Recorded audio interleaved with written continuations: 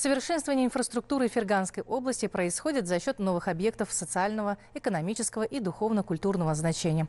О новых значимых адресах, вводимых в эксплуатацию и меняющих не только облик региона, но и мировоззрение людей в обзоре моих коллег.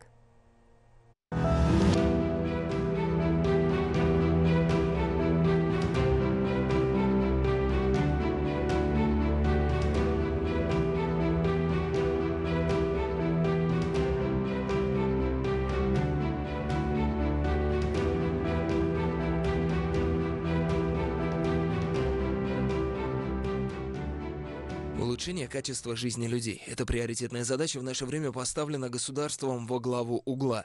И сегодня сбываются мечты многих. Малообеспеченные, нуждающиеся, граждане с ограниченными возможностями, молодые семьи обретают свой кров. В этом плане в Ферганской области проводится солидная работа. Так, в одной только Махале Миндонобот Ферганского района в 2018 году были сданы в эксплуатацию 8 трехэтажных домов, а это 144 квартиры. В нынешнем же году, в июле месяце, намечена сдача еще 11 таких же трехэтажных домов, то есть еще 198 семей обретут свой кров. Квартиры прежде всего будут предоставлены 45 людям с ограниченными возможностями и женщинам, находящимся в тяжелом социальном положении. В этом же списке 18 молодых образцовых семей, принимающих активное участие в социальной жизни страны. В настоящее время строится еще 279 доступных домов. Для обеспечения занятости жильцов здесь же, на этой территории, организован швейный цех. Помимо этого, в 2018 году в городах Фергана и Кокант Ферганской области за счет строительства 27 и 5-этажных доступных домов жилье получили 870 нуждающихся семей. В 2019 будет построено еще 14 таких же домов уже в Фергане и Кувасае, благодаря чему еще 603 семьи получат ключи от собственных квартир. Проведение в современный облик города, возведение вместо старых домов новых – это требование времени. В рамках соответствующего указа приказа главы государства в стране развернулась масштабная работа. 3 yillik rejani oldimizga maqsad qilib qo'yib oldik в целях восстановления процессов урбанизации мы разработали трехлетний план. В разрезе 19 городов и районов запланировано к освоению средства в размере 10 триллионов 402 миллиардов суммов.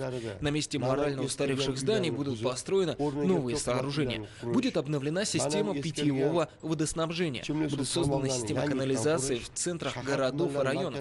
Особое внимание будет уделяться развитию социальной сферы сфере. В генеральные планы также включены задачи по созданию крупных предприятий.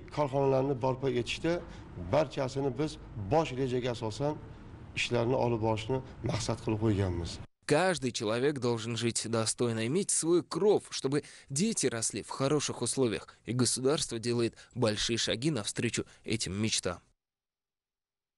Воспитание молодого поколения никогда не теряло своей актуальности, и в 21 веке задача в прямом смысле превратилась в жизненно важную. Как должна строиться государственная политика, касающаяся молодежи? Как реализуются инициативы в этом плане? Своевременно ли находят решение проблемы, которые сегодня встречаются в жизни юношей и девушек. Эти острые и решающие многое моменты находятся в центре пристального внимания нашего общества. Открывшийся в городе Фергане и сданный в эксплуатацию молодежный инновационный центр может решить многие задачи в этом направлении. Для создания еще больших условий проявления талантов одаренной молодежи открыт данный центр. Он создан в рамках пяти инициатив, озвученных президентом страны. Здесь будут собираться юноши и девушки со всего региона, у которых будет прекрасная возможность реализовывать идеи и проекты в этом инновационном центре. Раньше такого не было. Это, можно сказать, открытие дверей в мир больших возможностей. Здесь они также получат ответы на многие интересующие вопросы. На возведение центра направлено было свыше 2,5 миллиардов суммов. Его возможностями и сервисом в день могут пользоваться около 500 молодых людей. В комплексе находится фонд Йошларки Ладёгемес, консультативный центр «Молодой предприниматель», бюро по обеспечению занятости, туристическое агентство, служба оказания медицинской психологической помощи, инновационный центр «Молодая семья». Кроме того, здесь же расположились библиотека, юридическая клиника, IT-академия и даже бук-кафе. Широкие, светлые, просторные кабинеты, инновационные проекты, квалифицированные специалисты, теоретические и практические занятия – все то, что может содействовать молодым в реализации их инициативности и предприимчивости. farg'ona shahrida mana shu yangitdan ochilgan yoshlar innovatsion markazini boshqa innovatsion markazdan farqi ahamiyatli jihati shundaki Отличие данного центра в Фергане от других в том, что он многофункциональный, потому что если на первом этаже располагается сам инновационный центр, то на втором этаже предполагается предоставление современного жилья нуждающимся молодым семьям, какой-то сильный акцент социальной политики. Во многом центр также значим, потому что находится в центре города. Здесь помимо того, что молодежь будет обучаться, они смогут проводить свой досуг содержательно и полезно. Это хорошая площадка для реализации самых амбициозных идей и проектов. В данном центре молодежь будет также обучаться в предпринимательству, информационным технологиям, привлекаться к чтению книг. Что важно, все услуги будут оказываться бесплатно. Это библиотека, которая находится в новом информационном центре. Очень компактная, но, несмотря на это, у нее очень много возможностей. Здесь есть все. И детская литература, и мировая. Самые лучшие произведения узбекской литературы. Более того, данная библиотека открыта в инновационном центре, потому что именно здесь посетители могут читать произведения на своих мобильных телефонах. Для этого достаточно отсканировать QR-код программы, загрузить ее, и перед вами открывается целая библиотека в тысячу книг. Еще один важный момент. С помощью центра будут разрабатываться инновационные механизмы, предоставляющие возможность направлять местную продукцию на внутренние и мировые рынки, а также привлекать молодежь к научным и исследовательским работам. Кстати, есть здесь и возможность для проведения онлайн-конференций с участием местных и зарубежных экспертов, а также семинар-тренингов, различных смотров конкурсов в научно-техническом направлении. Программа развития деятельности молодежных инновационных центров закрепляет глубокое изучение опыта работы подобных учреждений в Европе европейских странах, Японии, Южной Корее, КНР, России и ряда других развитых стран.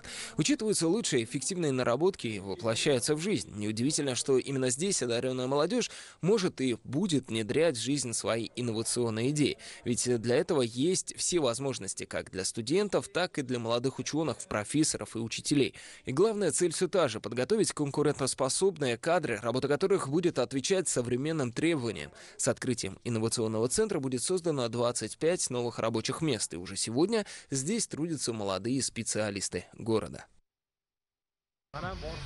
Созидательным процессом сегодня охвачены даже самые отдаленные местности Ферганской области. Совершенствуется работа в плане духовно-просветительского роста в сфере культуры.